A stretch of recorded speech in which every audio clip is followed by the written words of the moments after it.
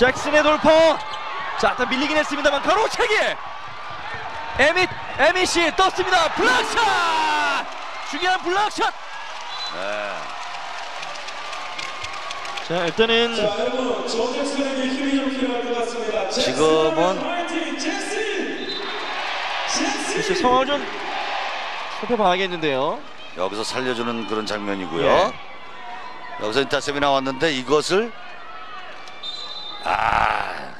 일단 장재석 선수가. 이제 블락하는 그런 장면이에요. 예.